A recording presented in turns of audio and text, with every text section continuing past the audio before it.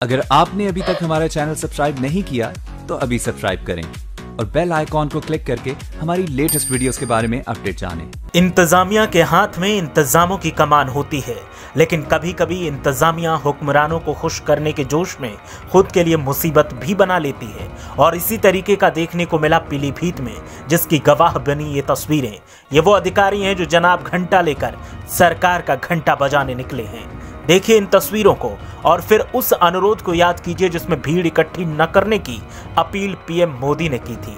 लेकिन मोदी की अपील का जनाजा हाथ में घंटा और साथ में हुजूम लेकर पीलीभीत के जिलाधिकारी और पुलिस अधीक्षक ने ही निकाल दिया, जबकि इनके ऊपर ज़िम्मेदारी ये थी कि लोगों को इकट्ठा न होने दें। और जब पीएम की अपील का जनाजा निकला तो फिर हुक्मरानों की आँखें लाल और त्योरियाँ टेढ़ी हो गईं। यहाँ धन्यवाद तो देना था उन लोगों को जो तमाम परेशानियों को दरकिनार कर सेवा में लगे हैं। लेकिन धन्यवाद के चक्कर में जिलाधिकारी और पुलिस अधीक्षक ने परेशानियों का इंतज़ाम कर डाला। ऐसे में फिर उठी विरोध की आवाज़ और पीलीभीत के सांसद वरुण गांधी ने ट्वीट किया। बीसलपुर से बीजेपी विधायक रामशरण वर्मा ने बयान जारी कर कार्रवाई की मांग कर डाली। इस संबंध में वरुण गांधी जी ने भी ट्वीट किया है तथा जिला अध्यक्ष भाजपा को भी ये चिंता हुई है कि ये जनपद स्तरीय अधिकारी भारतीय जनता पार्टी और योगी जी की सरकार की बदनामी करने के लिए ये सब कर रहे हैं।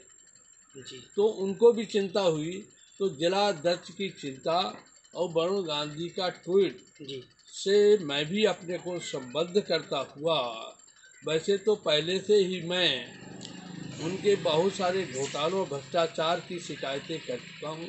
जी। जिन पर माननीय मुख्यमंत्री ने अनेकों बार कार्रवाई करने के लिए आश्वस्त किया है लेकिन कार्रवाई में विलम्ब होने के कारण जनता में थोड़ा संदेशा उप अच्छा नहीं जा रहा है।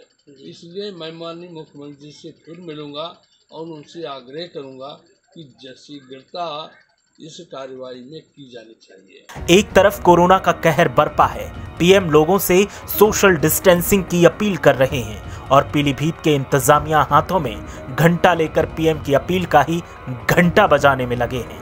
ऐसे में सवाल इस बात का है कि जोश ज़रूरी है, लेकिन होश अगर खो जाए तो जोश जी का जंजाल बन जाता है।